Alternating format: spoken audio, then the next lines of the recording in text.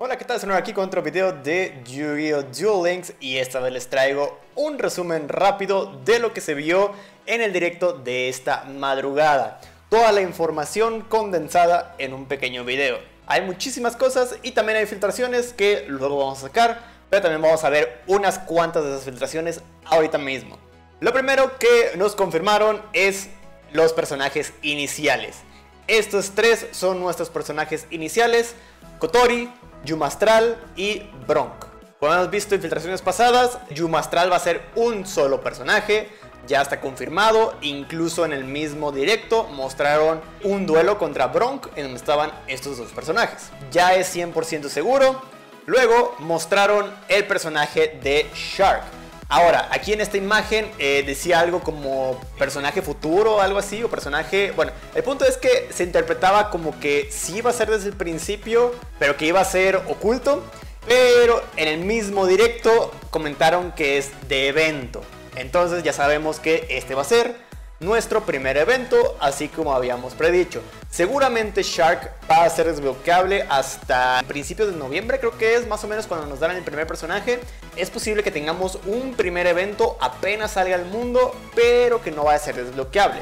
Ojo, puede ser que lo cambien. Esta fórmula la usaron cuando salió de SOD, que primero salió eh, Prana como duelista rondante, pero no fue desbloqueable nadie. Y hasta noviembre fue desbloqueable Cera en el segundo evento de Prana. Luego nos pasamos a la segunda cosa, ya confirmaron la caja grande y la estructura para que salgan el mismo día, el día 29 junto con el nuevo mundo. La caja grande ya hay cartas confirmadas. Luego les voy a poner el video con todas las cartas. Pero sí, ya está la filtración. Y también tenemos la estructura. Es una estructura común y corriente por lo que parece. Y también por lo que contiene. Sí creo que va a ser una estructura común y corriente. Vamos a ver de una vez las cartas. La mayoría son reimpresiones. Tocino, eh, este güey, esto, esto, esto, todo, es reimpresión. Lo único nuevo son esta carta mágica, el Gaga Cowboy y estas eh, tres cartas de monstruos. Pero creo que esta viene incluida en la nueva caja. Así que prácticamente nada más son eh, cuatro cartas que son exclusivas de esta estructura. Por eso mismo es que digo que es seguro que sea una estructura común y corriente, tal cual pasó con 5DS.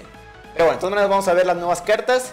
La primera es Subababancho Gagaga Code. Ojo, tiene tanto Subababa como Gagaga, eso es importante. Dice, si controlas un monstruo Subaba o Gagaga, excepto esta misma carta, mientras esta carta esté en tu mano, puedes convocar de modo especial esta carta. Puedes seleccionar un monstruo eh, Gogogo o Dododo en tu cementerio, convócalo de modo especial. También no puedes invocar monstruos de manera especial desde el extra deck por el resto de ese turno, excepto X, Y, Z. Digo, la verdad es que casi siempre vas a hacer eso y casi todos tienen nivel 4. Entonces fácilmente haces X, Y, Z de nivel 4, rango. Ya saben que siempre me voy a confundir y siempre le voy a decir nivel, pero ustedes saben que es rango. Eh, solamente puedo usar este efecto una vez por turno. Decente. Luego tenemos el Gagaga Mancer, nivel 4 también. Una vez por turno puedes seleccionar un monstruo Gagaga en tu cementerio, excepto esta misma carta. Convócalo en modo especial. También no puedes convocar monstruos de manera especial por el resto del turno, excepto monstruos Gagaga. Si esta carta es desacoplada como un material X, Y, Z y enviada al cementerio para activar el efecto de un monstruo, Puedes seleccionar un monstruo boca arriba X, Y, Z que controles. Este gana 500 de ataque hasta el final del turno, ¿vale? Ya tenemos un monstruo que hace algo por ser desacoplado, ¿eh? Así que está bien. Luego tenemos al Gaga César. Esta es la carta que les digo que va a venir en la caja también, así que da igual. No puede atacar al menos que controles otro monstruo Gaga. Una vez por turno puedes desterrar un monstruo del cementerio que tenga nivel el nivel de todos los monstruos Gaga controles actualmente se convierten en ese mismo. Esa carta no puede usar como material de sincronía. Ok, ya, te dicen, no podemos usarlo para sincronía. Creo que este no se va a usar tanto, especialmente porque es de nivel 3, digo. Obviamente usas el efecto para que se cambie a nivel 4, pero ve. Luego tenemos la carta mágica, que creo que es la importante. Si tu oponente controla un monstruo y tú no controlas ningún monstruo, convoca de modo especial un monstruo Gaga desde tu deck básicamente es tu buscador. Entonces, muy buena carta y te quita una invocación, así que ya puedes hacer XYZ en ese mismo turno. Eh, no puedes convocar monstruos de modo especial excepto XYZ durante el turno en que activas esta carta. Solamente puedes activar una de esas por turno. De todas maneras, muy buena carta. Supongo que esta es por la que quieren vender la estructura.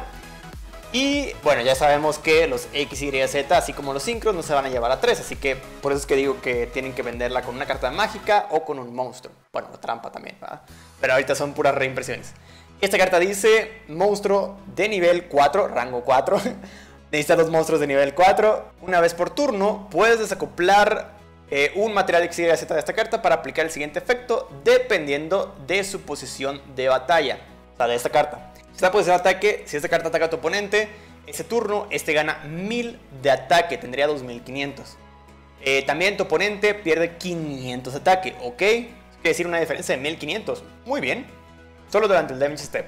En posición de defensa, inflige 800 de daño a tu oponente. Vale, ya vemos una, una carta que hace daño de efecto. Eh, pero la verdad es que este es el mismo daño que siempre hacía. No han cambiado esto del daño aún con alguna nueva carta.